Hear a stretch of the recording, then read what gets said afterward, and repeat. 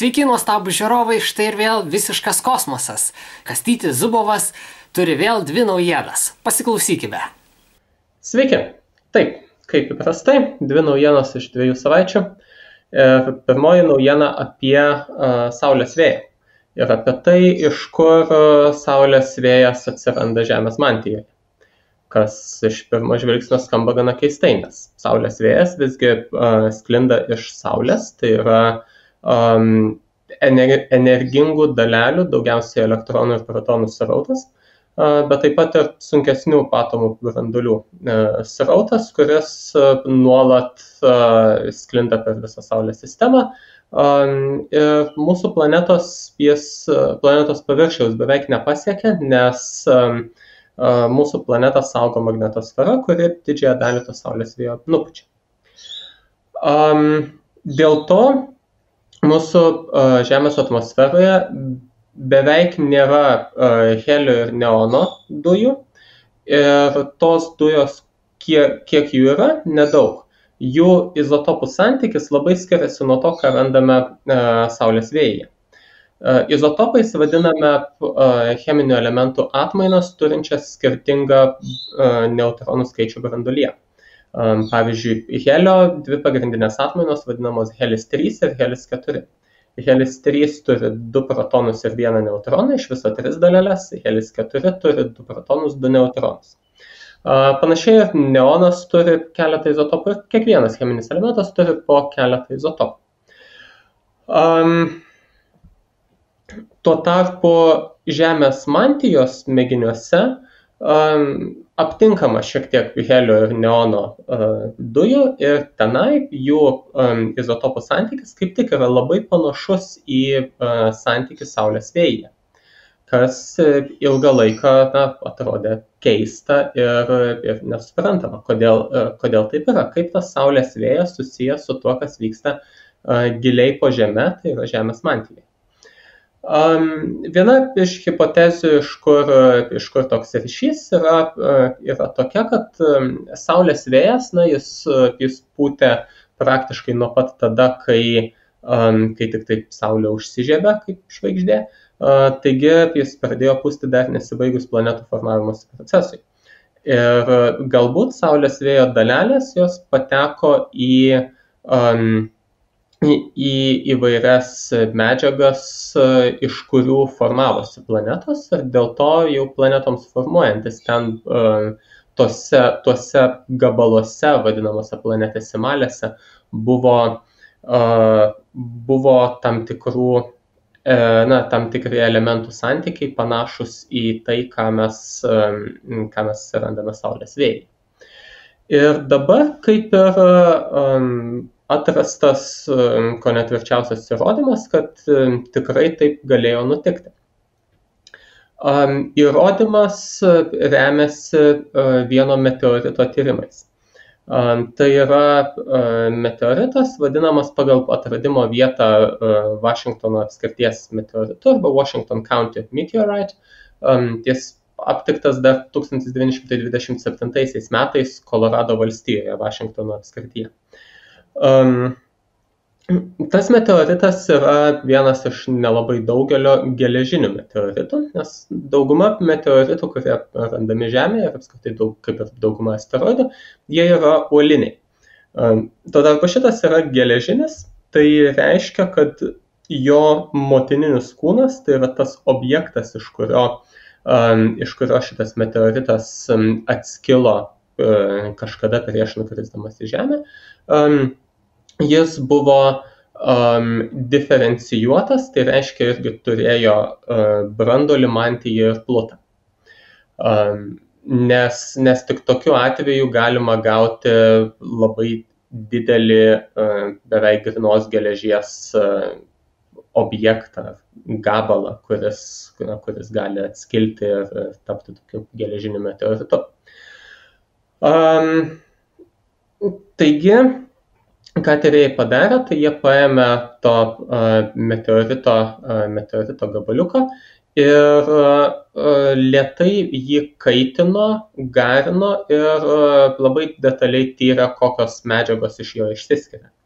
ir taip, taip išsiaiškino, kad um, jame, jame esančių dujų, um, dujų atomai, dujų branduoliai pagal izotopų santykių visiškai atitinka Saulės vėją. Na, kai meteoritas jau yra geležinis ar kai tas na, kažkoks geležies gabalas sustingęs skraido kosmose, tai Saulės vėjui na, nėra kaip įsiskverbti. Iš kitos pusės Saulės vėjas tos dalelės galėjo įsiskverbti į tą objektą, kai jis dar buvo um, tik tai besiformuojas. Um, Tai reiškia, kai jis buvo skystas ir na, galėjo jame tos dujos ištirpti kažkiek. Um, taigi šitas, šitas atradimas parodo, kad jeigu į besiformuojančią planetesimalę kokią nors tikrai priputė to Saulės vėjo, tų dujų, um, tam tikrų šiek tiek, tai bent dalis tų dujų sėkmingai galėjo patekti į um, objekto brandolį, tai yra į tą geležinį darinį objektą, na ir galiausiai vėliau um, nukristi į Žemę kaip meteoritas. Taigi, uh, iš to galim daryti išvadą, kad um, kažkas panašaus galėjo nutikti ir su uh, Žeme. Tai yra Žemė dar formuojantis, Saulės vėjas um, priputė į tą besiformuojančią Žemę, į, tuos, į tas planetesimales, iš kurių susiformavo Žemė. Um, priputė Saulės vėjas tų dujų ir e, po truputį tos dujos išsiskirstė kartu su, e, kartu su komponentais e, formuojančiais Žemės mantiją ir brandolį. Ir dalis nusėdo į brandolį ir dabar po truputį gali būti, kad jos, pavyzdžiui, pabėginėja iš to brandolio, nes dalis Žemės brandolio yra sudaryta iš skistos geležies. Taigi pabėginėja iš brandolio, patenka į mantiją, per tą mantiją po truputį kyla į viršų, kur kur jau įmanoma, įmanoma jos rasti iš mantijos mėginių, na, pavyzdžiui, iš ugnikalnių išsiveržimo metu mantijos medžiaga pasiekia paviršių ir panašiai. A, taigi toks, toks va, ryšys nuo labai senų laikų, daugiau nei 4 milijardų metų praeities, kai a, formavosi tik tai Saulės sistema, iki šių dienų ir to paties Saulės vėjo. Saulės vėjas čia reikia įsivaizduoti, kad tai yra e, didelės energijos e, dalelės. Taip, taip, būtent e, dalelių srautas, kuris susidaro, susidaro dėl daugiausiai magnetinių procesų Saulėje vykstančių, kurie, kurie nuolatos išmetinėja įvairių, įvairių dalelių nuo Saulės ir nustumėja tolyn kaip, e, pavyzdžiui, degonės atomai, ten vandenilis ar kažkas tokio? Jos yra pakankamai energingos, kad tai būtų nebe atomai, bet e, jonai ir elektronai, bet taip, daugiausiai tai yra vandenilis, tiesiog dėl to, kad na, vandenilio branduoliai tai yra protonai ir, ir elektronai palaidi, iš esmės todėl, kad Saulė pagrindė yra iš vandenilio sudaryta bet taip pat yra ir helio ir yra įvairiausių sunkesnių elementų, kaip va čia šitame tyrime nagrinėti helis ir neonas.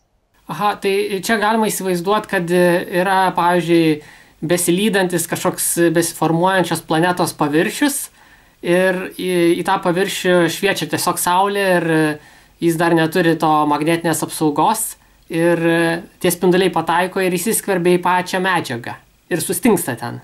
Taip, faktiškai taip, tiesiog va, stiprus, stiprus vėjas pučia, na, jeigu taip, na, pagalvokim, va, jeigu, jeigu paimčiau, tarkim, dubenį vandens ir labai stipriai jį papūsčiau, na, tai um, tie uh, į vandenį šiek tiek oro įpūsti išeitų ir atsirastų, atsirastų burbuliukų. Jame, aišku, tie burbuliukai greitai pakiltų ir, ir tas oras išliektų, bet e, jeigu kalbam apie um, viena vertus daug smulkesnius dalykus, tai yra uh, pavienius, pavienius atomų brandolius pataikančius, o ne kažkokius didelius oro burbulus.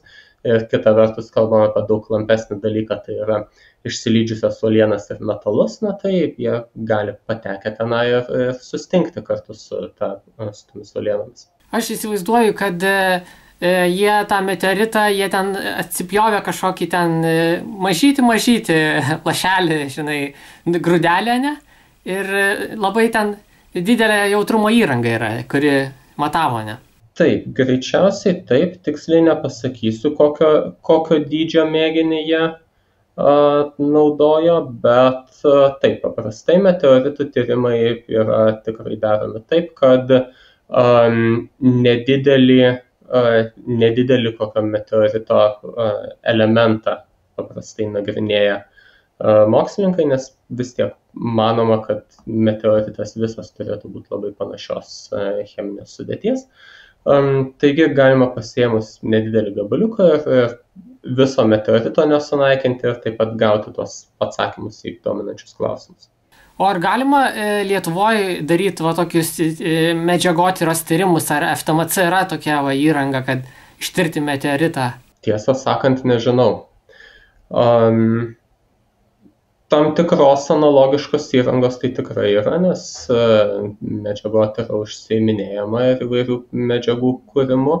Bet nežinau, ar ta įranga yra, pavyzdžiui, pakankamai jautri, kad būtų galima tokius praktiškus e, meteoritų tyrimus daryti. Įsivaizduoju, tas metalas išsilydo, tai jį ten tikriausiai gal kokiam vakume ar e, nežinau, kad jis po to kažkaip nusirbė, kokios medžiagos išsiskiria, nes kokiu spektrografu ten skanuoja, ne? Taip, taip, dažniausiai um, dažniausiai tai yra daroma vakuume tam kad kad nebūtų užteršimo iš atmosferos.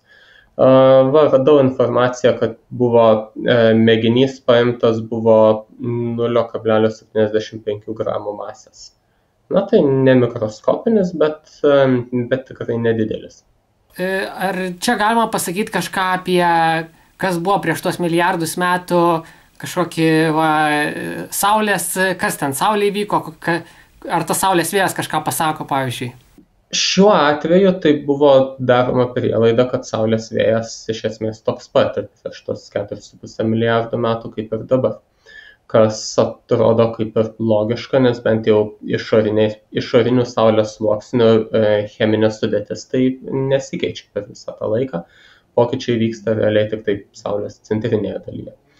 Um, ar ką nors galima pasakyti, tai greičiausiai, greičiausiai iš principo įmanoma, tik tai galbūt kol kas, um, kol kas nėra pakankamai gero supratimo būtent apie tai, kaip va, tas Saulės vėjas į meteoritus įlenda, kad būtų galima pasakyti, ką nors ir atskirti, tarkim, kur čia Saulės vėjo įtaka, kur čia yra tiesiog meteorito kilmės kokios įtaka. O e, tas e, pats dangaus kūnas, e, sunku pasakyti, kokio iš dydžio buvo, iš, iš, čia, iš kokios čia vietos, kur čia atskrido, ne, jau taip ne, neįvertinsi. Taip, kar, kartais įmanoma pasakyti nemažai apie meteoritų tos motininius kūnus um, pagal jų sandarą, bet, bet kartais sudėtinga. Na, šiuo atveju tai tiesiog, kaip minėjau, tai reiškia, kad kūnas buvo diferencijuotas, turėjo plutamantiją brandolį tam kad įvyktų diferenciacija kūnas turi būti tiksliai nepasakysiu dabar bet bent kelių šimtų kilometrų skersmens taigi didžiausi asteroidai tarkim yra diferencijuoti bet bet toli gražu ne visi nes, nes jeigu per mažas kūnas, tai jo tiesiog gravitacija nėra pakankamai stipri, kad galėtų suspausti tas medžiagas, išlydyti centrą ir, ir leisti joms nusistovėti pagal savo svorį. Dar pagalvojau tokį fantastinį klausimą. E, ar taip galėtų, ar, gal, ar mes sugebėtume nustatyti ir atskirti, kad pavyzdžiui, e, tai būtų metalo gabalas, nuo, sakykime, prieš kažkiek milijardų metų e, skrido, sakykime, koks ateivė erdvėlaivis, ten sprogo ir nuo korpuso nulėkė tas metalo gabalas ir va, mes jį atskirtume, kad jis, pavyzdžiui, ne Saulės sistemos kilmės, o visai kažkoks kitoks. A, kilmę pagal, na, ar kilmė iš Saulės sistemos ar iš kokios kitos žvaigždinės sistemos, tai uh, tą taip pat galėtų pasakyti izotopų analizė, nes kitoje, kitoje žvaigždinėje, kitoje planetinėje sistemoje turėtų būti įvairių elementų izotopų santykiai šiek tiek kitokie. Taip pat greičiausiai, na, jeigu tai erdvėlaivio tai yra kaip nors apdirbto, protingai apdirbto metalo pavyzdys, tai greičiausiai būtų galima nustatyti, kad būtent tas metalas buvo išgrynintas, kad su juo kas nors, kas nors daryta, na, vėl cheminė sudėtis turbūt ir galbūt galbūt ir smulkioji struktūra e, galėtų, galėtų pasakyti, kad tai, tai nėra natūralios kilmės objektas. Na, gal kažkada ir atrasime, ką nors, ką gali žinoti. Gali būti. Taip. O kokią, e, kokią turi antrą naujieną pasiruošęs? Taip, antroji naujiena yra susijusi su procesais, kurie nutinka po uh, žvaigždės panašios į Saulę mirties. Uh, į Saulę panaši žvaigždė, tai turiu omeny, kad žvaigždė, kurios masė neviršė maždaug 8 Saulės masių. Šitas atskirimas ties 8 Saulės masėm yra daromas todėl, kad masyvesnės žvaigždės gyvenimo pabaigoje sproksta supernovomis ir um, jų branduoliai susispaudžia į neutroninės žvaigždės arba juodasias skirias. Tuo tarpu mažesnės žvaigždės, kaip ir mūsų Saulė, gyvenimą baigia e, tiesiog palengva nusimesdamos šiek tiek išorinių sluoksnių ir e, virsdamos baltosiomis nikštukėmis. Baltoji nikštukė yra e, maždaug žemės dydžio objektas, į kurį suspausta yra nemaža dalis pirminės žvaigždės masės. Tarkim, kai Saulė virs baltąją nikštukę, tai e, baltosios nikštukės masė bus apie 70 procentų Saulės masės ir viskas suspausta į žemės dydį, tai yra tikrai labai tankus objektas, sudarytas daugiausiai iš anglies ir degonės. Um, stebėdami baltasias nikštukės, astronomai vis aptinka prie jų uh, nuolaužų diskus. Um, nuolaužų diskas tai yra uh, darinys šiek tiek panašus gal į asteroidų žiedą, tik tai turintis daugiau visokių smulkių dulkių. Ir manoma, kad jis susiformuoja todėl, kad prie, prie baltosios nikštukės vis priartėja um, iš jos planetinės sistemos asteroidai, kuriuos um, tos baltosios nikštukės gravitacija suardo. Uh, nes um, kadangi baltoji nikštukė yra daug mažesnė, taigi daug kompaktiškesnė už, už pačią žvaigždę, tai reiškia, kad arti jos priartėjus žymiai stipresnės potvinio jėgos veikia objektą ir netgi uolinį asteroidą gali suardyti į gabalus. Mm, kai tuo tarpu prie Saulės, e, prie, priartėjus prie jos paviršius, tik tai, tai asteroidas nebūtų suardomas dėl potvinio jėgų, jis nebent galbūt būtų, uh, būtų įkaitinamas ir iš dalies imtų garuoti. Kaip įvyksta tas suardimas, jis tiesiog skrieja orbita kažkokia ir kas jam atsitinka? taip jeigu jeigu kūnas priartėja labai arti tos baltosios nykštukės, tai tiesiog gaunasi, kad viena jo pusė traukia stipresnę gravitaciją, kita pusė silpnesnę gravitaciją. Ir skirtumas tarp šitų jėgų pasidaro toks didelis, kad paties asteroido vidinės jėgos, ar tai būtų gravitacinės, ar tai būtų cheminės, jos nebesugeba šito atlaikyti ir dėl to jis, jis subyra į, į gabalus. O jeigu ten astronautas e, skristų, va, pailgas toks, tai kaip, e, pavyzdžiui, galva, nu, į galvą atsisukęs į Saulę, tai galva labiau pritraukto, kojas kaip nutystų? Taip, taip, galva trauktų labiau, kojas silpniau ir uh, iš astronauto pasidarytų spagetis. Galimai. Uh, na, viskas priklauso nuo to, kiek labai, kiek labai priartėjai. Bet asteroidus suardyti panašu, kad įmanoma ir tie nuolaužų žiedai formuojasi. Tiesa, dar kitas klausimas, aišku, kodėl asteroidai taip arti priartėja. Atsakymas čia yra toks, kad um, kaip žvaigždė miršta, susiformuoja baltoji nikštukė, tai uh, sumažėjusi to centrinio objekto masė um, destabilizuoja planetų orbitas na planetos judėjusios apskritiminėmis orbitomis pradeda judėti elipsinėmis, dėl to tas balansas jų tarpusavio orbitų, kuris egzistavo milijardus metų galbūt, kol žvaigždė buvo gyva, jis e, pranyksta ir dėl to ypač nukenčia mažieji objektai, tai yra įvairūs asteroidai, kuriuos tiesiog tos planetos judančios, judėdamas ima svaidyti į šalis. Kai kurie nulekia labai arti baltosios nykštukės, kiti išlekia iš sistemos visą ir panašiai. Uh, tai va, bet um, stebėjimai uh, rodo, kad nuolaužų diskai atsiranda tik tai praėjus uh, maždaug 20-30 milijonų metų po baltosios nykštukės atsiradimo. Uh, kaip tą nustatyti galime, tai pagal baltosios nykštukės temperatūrą iš esmės.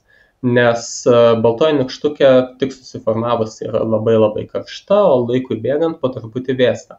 Taigi, e, išmatavę baltosios nykštukės temperatūrą, galim maždaug žinoti jos amžių, tai yra kada ta žvaigždė mirė ir atsirado baltoji nykštukė. E, taigi, va, tik taip 20-30 e, milijonų metų amžiaus ir senesnės baltosios nykštukės turi nuolaužų diskus. Iš kitos pusės įvairūs, įvairūs paprasti modeliai, kurie, kurie nagrinėja tos orbitų um, orbitų pokyčius ir asteroidų trajektorijų pokyčius, jie rodo, kad žymiai greičiau per gal šimtus tūkstančių ar milijonus metų turėtų tas nuolaužų diskas susiformuoti. Klausimas, kodėl toks skirtumas ir kodėl prie labai jaunų baltųjų nykštukių nėra tų, um, tų nuolaužų diskų. Ir atsakymas, vat, naujas, naujas rezultatas yra, yra toks, kad pasirodo uh, tos uh, jaunos baltosios nykštukės yra e, tiek karštos, kad e, subirėjusių asteroidų dulkės e, tiesiog išgaruoja ir diskas negali susiformuoti. Tam, kad gautų šitą rezultatą, tyrėjai pasitelkė skaitmeninį modelį, kuriame labai detaliai aprašomas įvairių medžiagų garavimas vakumo sąlygomis kas ką būtent na nustatyti ir eksperimentiškai galima ir apskaičiuoti teoriškai, bet tai yra um, na, pakankamai, uh, pakankamai nauji, uh, nauji rezultatai, dėl to tiesiog anksčiau ne, nelabai buvo galimybių suskaičiuoti šitą, uh, šitą rezultatą. Um, taigi, esmė, esmė yra tokia, kad jeigu baltoji nekštukė yra labai jauna, tai tas regionas pakankamai arti jos, kad ten uh, patekę asteroidai jau būtų suardomi, um, atitinka regioną, kuriame uh, baltosios nykštukės spinduliuotė tiek stipriai įkaitina dulkes, kad uh, tos dulkes tiesiog išgaruoja ir uh, pabėga iš sistemos, o nelieka, uh, nelieka skrieti apie baltąją nykštukę. Um, ir um, pasirodė, kad modelio tie skaičiavimo rezultatai parodė, kad asteroidų dulkės išgaruoja, jeigu nikštukės temperatūra viršė maždaug tarp 25 ir 32 tūkstančių laipsnių. Palyginimui Saulės paviršiaus temperatūra yra kiek mažiau negu 6000 laipsnių, taip kad čia yra tikrai bent keletą kartų aukštesnė temperatūra. Ir iš tiesų realūs diskai aptinkami prie tų nykštukių, kurių temperatūra yra 27 tūkstančiai laipsnių arba mažiau. Taip kad šitie rezultatai atrodo visai gerai atitinka tai, ką stebime ir paaiškino, kodėl tos uh, karštesnės, tai yra jaunesnės baltosios nykštukės, neturi nuolaužų diskų. Prie mūsų Saulės ateityje gali, e, tas asteroidų žiedas gali ten ir taip formuotis? Uh, taip, mūsų Saulė po maždaug 5 milijardų metų irgi taps baltąją nykštukę. Ir e, tada, na, vidinių planetų Merkurijos ir Veneros tikrai neliks, nes prieš tai išsiplėtusi raudonąją milžinę Saulė tiesiog apgaubs tas, tas planetas ir jas sudegins. Žemės galbūt irgi neliks, bet tiksliai neaišku, nes Saulė išsiplės maždaug iki va, čia, kur yra Žemės orbita, e, bet nežinia, ar apgaubs mūsų planetą ar ne. Po to susitrauks į baltąją nykštukę ir tada liks asteroid, Marsas, asteroidų žiedas ir išorinės planetos. Ir tos išorinės planetos po truputį tą asteroidų žiedą um, išsklaidys į visas puses ir dalis, dalis asteroidų turėtų nukristi prie pat Saulės ir uh, subirėti į, į dulkes. E, o kaip yra žinoma, kad va, toks reiškinys vyksta, juk per teleskopą nepamatysi tų mažų e, sudraskytų gabalų lekiančių aplink tą. Su, sudraskytų gabalų nepamatysi teisingai, bet galima pamatyti, kad baltosios nikštukės spektre matosi tam tikri komponentai, kurie parodo, kad aplink ją egzistuoja diskas. Ir būtent diskas sudarytas iš, iš dulkių, nes dujos ir dulkės šiek tiek skirtingai spinduliuoja, taip pat disko spinduliuotė skiriasi nuo sferinio objekto spinduliuotės, kadangi diskas tai reiškia, kad dalis jo yra arčiau baltosios nikštukės, dalis yra toliau, vadinasi, dalis yra labiau įkaitusi, dalis mažiau įkaitusi, o skirtingų temperatūrų dariniai irgi skirtingai, ne, skirtingai spinduliuoja. O kokia yra tolimesnė kas vyksta toliau? Dar, sakykime, praeina kažkiek milijardų metų, ar ta žvaigždė visai atvėsta ir, sau, ir virsta kažkokiu akmeniu?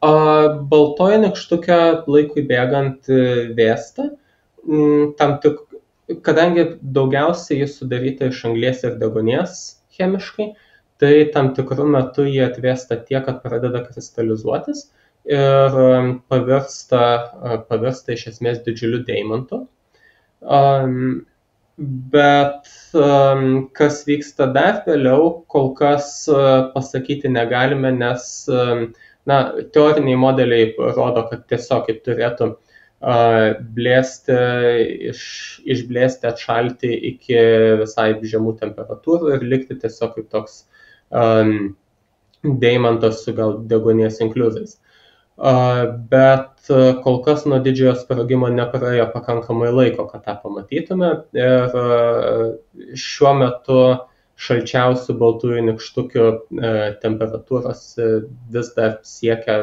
daugiau negu 3000 kelvino laipsnių. Tai yra na, maždaug pusė Saulės paviršiaus temperatūros, kiek daugiau negu pusė Saulės paviršiaus temperatūros. Jos jau yra susikristalizavusios bent dalinai, tas kristalizacijos procesas uh, jo požymiai yra, yra aptikti stebint realias nikštukes, tiksliau stebint daugybę realių nikštukių ir statistiškai nagrinėjant jų populiaciją. Bet kas, kas vyksta toliau, kol kas realiai pasakyti neįmanoma. O deimantas tai tas gražus blizgantis, kur ant papuošalai visokie būna. A, gražus blizgantis deimantas tai jau yra apdirbtas ir, ir visai gražiai lygiai nukirstomis plokštumomis. Um, realūs deimantai tik, tik iškasti, jie, jie nebūna tokie gražus, bet taip, iš esmės, iš esmės tokio paties pobūdžio kristalas. Nes tai yra anglis besikristalizuojanti labai didelio slėgio aplinkoje, kas ir duoda deimantą jeigu anglis kristalizuojasi mažo slėgio aplinkoje, tai tada galim gauti grafitą ar kokias kitas, kitas anglės atmainas. Na, bet šiuo atveju tai deimanto forma gaunama. Ir aplink jį skrie, reiškia, tas žiedas visokių dulkių ir nuolaužų. Taip, dulkių nuolaužų žiedas skrieja, taip pat e, planetos irgi, e, irgi skrieja, nes, na, gali būti, kad kai kurios planetos e, išlekia iš sistemos visiškai, e, bet, e, bet vis tiek dažniausiai turėtų kažkiek tų planetų likti. Ar galima kažkokį prisikasti to deimantą kažkokią ar nuskristi? Um, na, tu, turint omeny, kad tai labai masyvus ir labai kompaktiškas objektas, tai, tai turbūt sudėtinga būtų jį kaip nors uh, patį išnaudoti gal tą dulkių žiedą galima būtų kaip nors, kaip nors kada nors panaudoti. Na, bet manau, kad iki tol, kol praktiškai taps įmanoma iki ten nuskristi, tai, tai bus sugalvota, kaip galima naudingai panaudoti tokius dalykus. Taip, sunku patikėti, kad e, tokia gaunasi viskas užgesta ir, e, ta prasme, tiesiog bus toks kaip metalo laužynas, nu ne laužynas, uolienų kažkoksai toksai mirusi sistema, ne? Taip, taip po truputį po truputį visos planetinės sistemos taps tokiamis Kągi vis tiek galim pasidžiaugti, kad dabar Saulė šviečia, mus šildo, mes galim džiaugtis vasarą. Ir e, ačiū tau, Kastydį, kad papasakai, ačiū žiūrovai, kad e, palaikote, kad remiate, kad žiūrite, laukiam jūsų komentarų ir sutiksim už dviejų savaičių. Iki.